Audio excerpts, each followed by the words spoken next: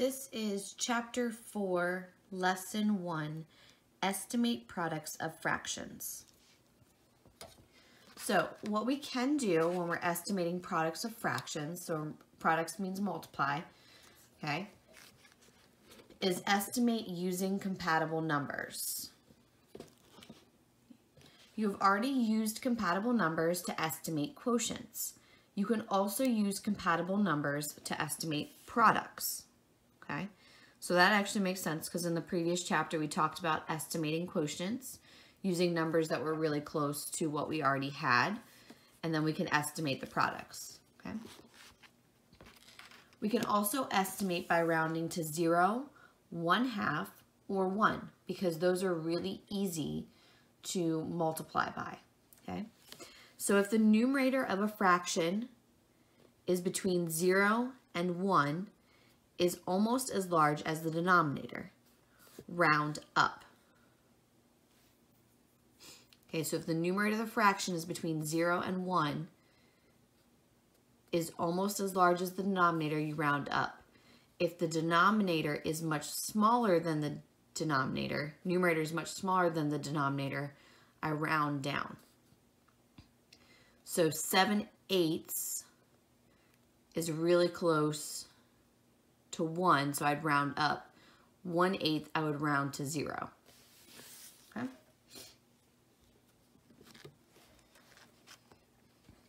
So let's take a look at an example.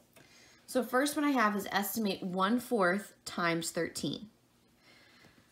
So I can find a multiple of 4 close to 13, which is 12. So multiple, so 4 times what would get you close to 13? Well 12, 12 is a multiple of 4. So my multiples of 4, 4. Okay, so my multiples of 4 would be 4, 8, 12, 16. So I'm going up by 4 each time. Okay, so 12 is going to be closest to 13. So 12 and 4 are compatible numbers since 12 divided by 4 equals 3.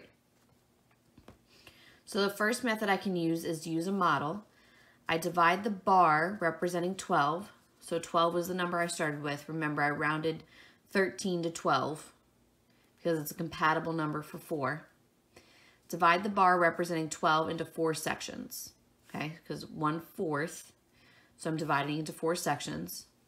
And each of those sections, in order to get to 12, would be 3. Okay. Method 2 is use compatible numbers. Okay.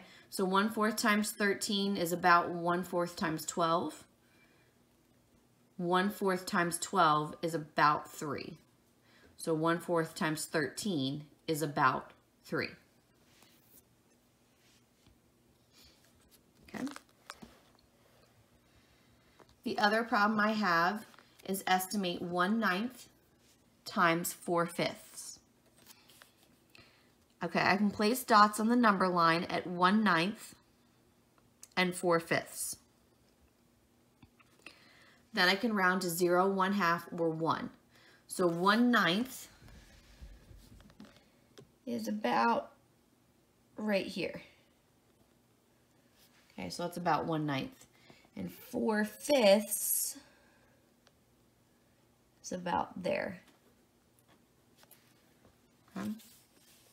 So I can round one ninth is about zero and four fifths is about one.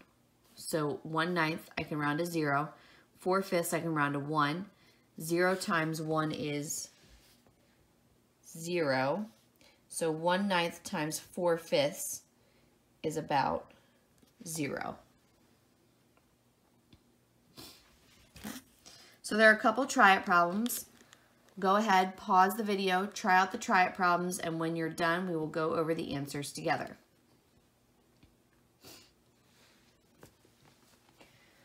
So now that you've done the try it problems on your own, let's go over the answers together. So the first one I have is A, 1 fifth times 16. Okay. Well, what I can do is I can ask myself, I can look at compatible numbers. So for A, 1 fifth times 16. So I can look at 5 and write down my multiples of 5. So 5, 10, 15, 20. Okay. 15 is closest to 16, right? So I can say 1 fifth times 15. So this is saying 1 fifth times 15 over 1. Okay. This gives me 15 over 5. Well, 15 divided by 5 equals 3. So, 1 fifth times 16 is about 3. And I use squiggly lines as opposed to straight lines because this means approximately. Okay.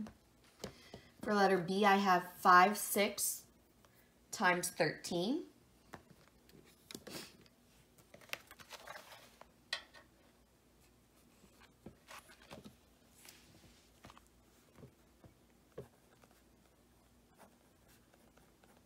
So I'm going to write down the multiples of 6. 6, 12, 18. So the closest one is 12. So I can do 5, 6 times 12. So I have 5, 6 times 12 over 1. Okay. This is the same thing as saying 60 over 6.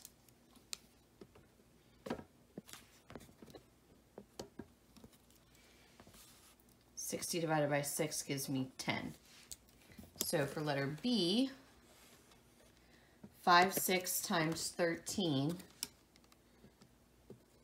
is approximately ten.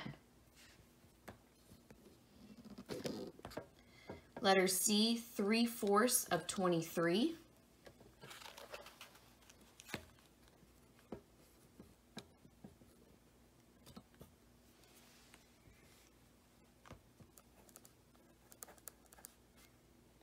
So of means multiply. Can write down the multiples of 4.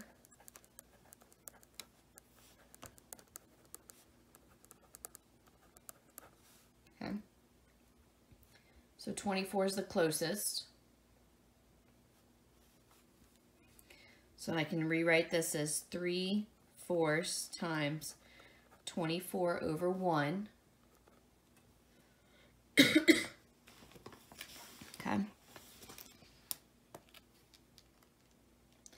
24 times 3 is 72. And then that divided by 4 equals 18. So letter C, 3 fourths of 23 is approximately 18. Okay. For letter D, I have 5 eighths times 9 tenths. And I'm going to use my second strategy here for these. D.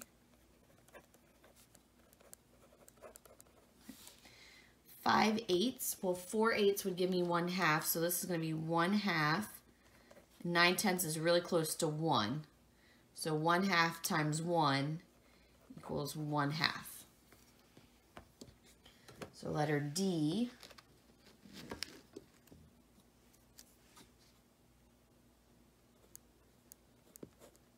is approximately one half. Letter E says 5 6 times 9 tenths.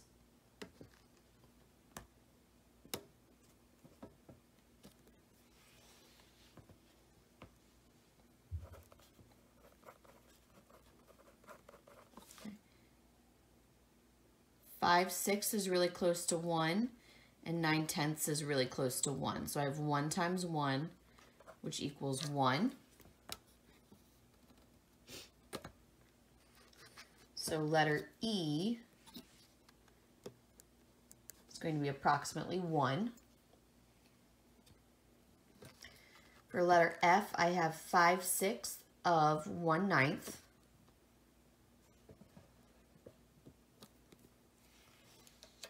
So,